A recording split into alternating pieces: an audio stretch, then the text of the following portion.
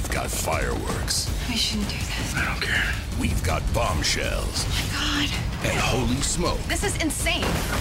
we snuck in a summer stunner. I know it. It's impossible. General Hospital, this week on ABC.